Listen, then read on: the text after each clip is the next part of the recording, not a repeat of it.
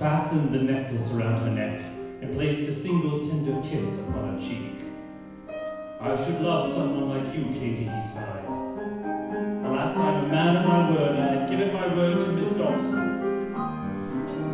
Stop!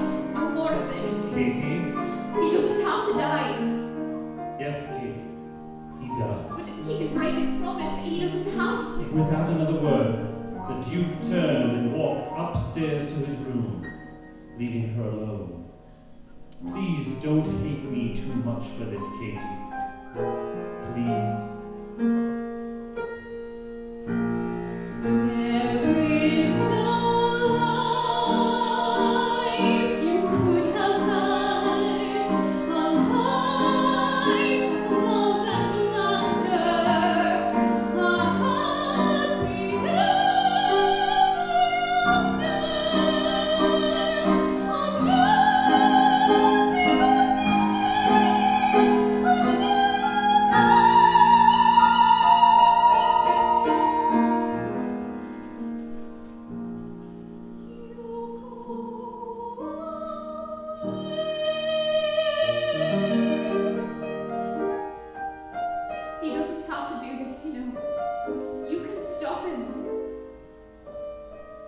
things can't be rewritten, Katie.